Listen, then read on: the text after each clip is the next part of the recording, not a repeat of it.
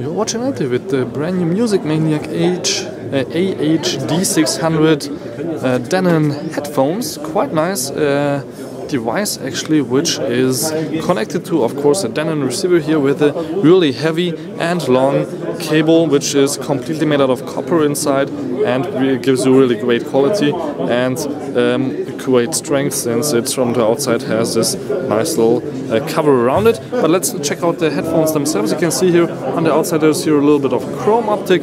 Then we have some plastic here inside, plastic also here on the outside. But there is here, of course, metal and leather again here on top.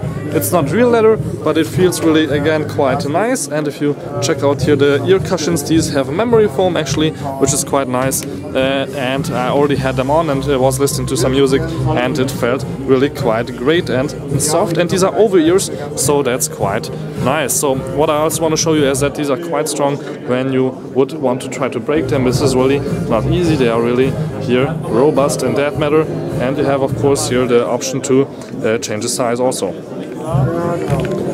So on both sides you have quite a big play room here so you can change the size.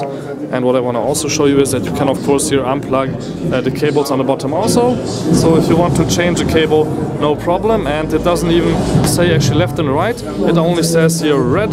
Goes to red, which is of course again quite nice since this is the standard uh, music language here that we are uh, talking. So red is on the left and white is on the right, as you can see here.